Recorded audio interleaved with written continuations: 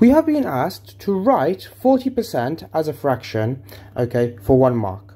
So, uh, to convert a number to a fraction, what we do is we take the number we're given and we write it over 100, okay, because this percentage means percent or per 100.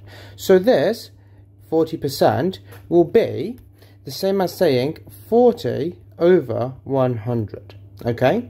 Now, the question didn't ask us to simplify it in any way, so we can get away with just writing 40 over 100 in our answer space like this, okay? But if it did say to simplify to the um, simplest form, okay, you will have to add that extra step.